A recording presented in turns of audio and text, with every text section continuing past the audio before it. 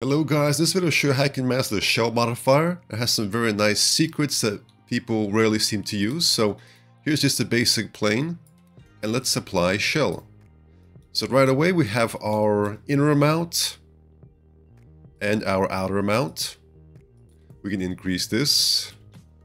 Here we have segments. Simply insert more loops through here. You don't really need to do this. You can always just kind of apply Edit Poly on top and just kind of uh, insert loops yourself, but it kind of speeds the process. Now, one really cool thing about Shell is that if we go on the top viewport here, and we go into our create panel here and create a line spline, which I've got that set to shift 1. So I just go over here and just, I'll press G to off the grid, I'll press shift 1, I can start creating a line right here. You can hold down shift to constrain to 90 degrees. So what I'm going to go ahead and do is just create something like this. Alright, let's go with that. I'll press 1 right away to switch panels and go straight into the vertex level. We can, for example, select these, right click, and set those to be smooth, for example. Alright, so once we've got that shape, we can use this shape to ch change the shape of our shell. So we simply go into activate bevel edges. For bevel spline, we click on none and we select that. As you can see, this is a very good method for quickly getting ornamental detail and for just making your panels just more interesting right away.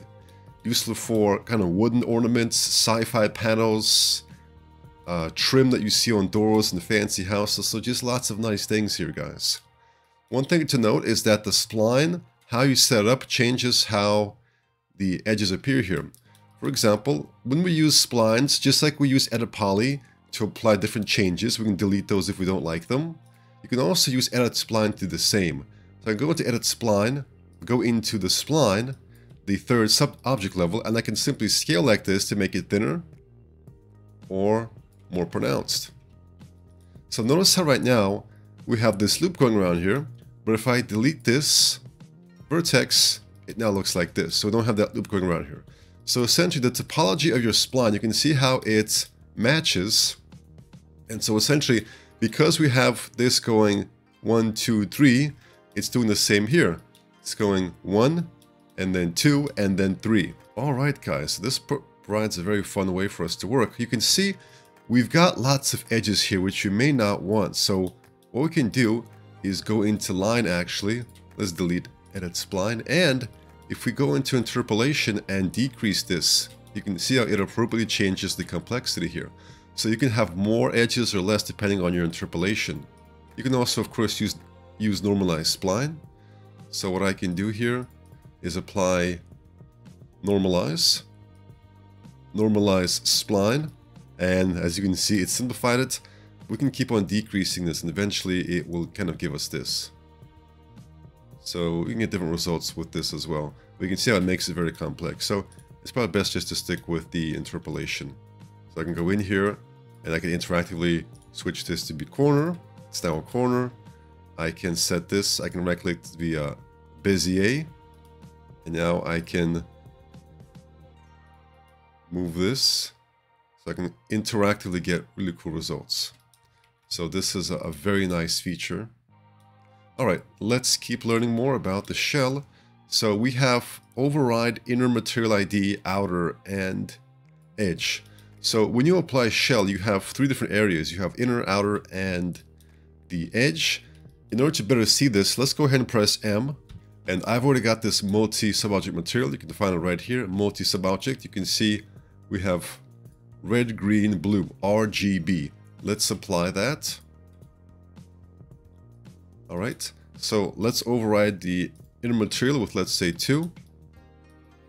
As you can see, that is the inner material. We can also set that to be 3, for example. Outer material can be... So this is the outer. So we can make that 2. Edge, we can have that be 1, 2, 3. Next we have auto smooth edge on by default. So essentially this just uses smooth. So instead of giving us this, it gives us kind of a smoother grooves depending on the sharpness of the edges, the angles. If we turn off auto smooth edge, you can activate override edge smooth group. And down here we have edge mapping. We have copy, none, strip, and interpolate. This is very useful when you're creating straps and you want to maintain the texture. So to quickly show you, let me create a new plane. And let's say we're creating some sort of strap. You know, I use this for helmets and things like that. So I will go ahead and just, you know, let's let's create some basic strap details. So we got we got a strap going around here, something like that. All right, and so let's say we want to create some sort of like thread detail on this. So I'm gonna go ahead and create a new material, and I'm gonna put some sort of thread or some sort of tiling texture in the diffuse slot. Alright, you can see I've got this. Let me quickly apply UVW map on top. Although normally I would use unwrap UVW because it'd be more complex than this, but let's just do a quick planar map.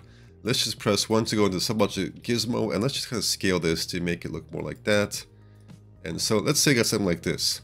Now, when you apply shell, let's decrease that. So the default copy just kind of stretches the texture out. We can see it better if we increase the outer amount. None just kind of removes that. Strip does this.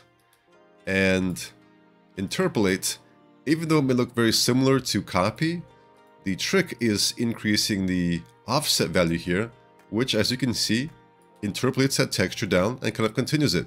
So this just makes it absolutely fantastic for continuing the texture all around.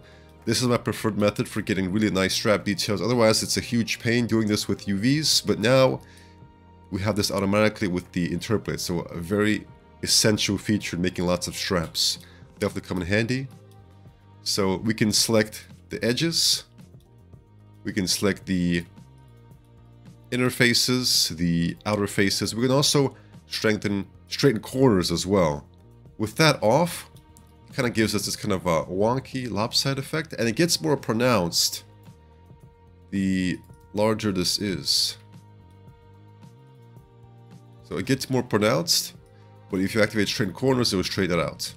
Alright guys, you are now masters of using the shell modifier. Go ahead and use it to create uh, wooden ornaments, straps, and all sorts of other things. Sci-fi panels, thank you for watching, and take care.